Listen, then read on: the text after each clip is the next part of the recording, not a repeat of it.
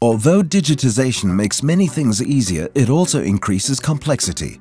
This is especially true when it comes to managing a wide variety of applications, networks and IT infrastructures. Despite careful controls, sophisticated testing and extensive quality assurance, it happens time and again that something goes wrong. It's often the software that creates surprises. What worked smoothly during testing causes problems in production. What are the reasons for these malfunctions? Most test systems can only find the errors they know. This means that a new error remains undetected. In addition, as applications and systems get bigger and bigger, it becomes increasingly difficult for even experienced programmers to recognize every interconnection.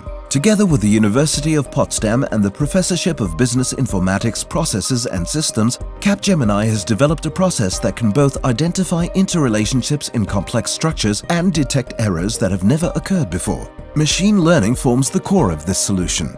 This method can prevent errors early in development. To do so, it analyzes the existing code, searches for association rules and common patterns, and learns how the code is structured.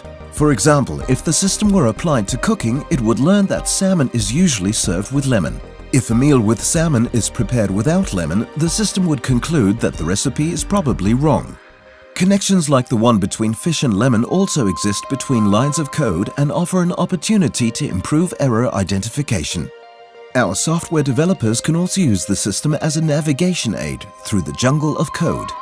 This has considerable advantages. Errors can be found before the code goes live, the error rate declines and stressful hotfixes can be avoided. The system notifies the developer of possible vulnerabilities as well as deviations in functionally similar contexts. New or external employees can familiarize themselves more quickly with the code due to its lower complexity.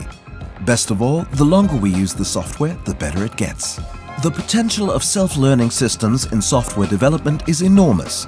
They increase the performance of production systems, shorten development cycles, reduce error rates, help avoid software failures, and lower the cost for go-lives and updates. Can you afford system failures due to code errors? Use intelligent systems to take back control Capgemini's intelligent machine learning-based software development system is mature and ready for immediate deployment.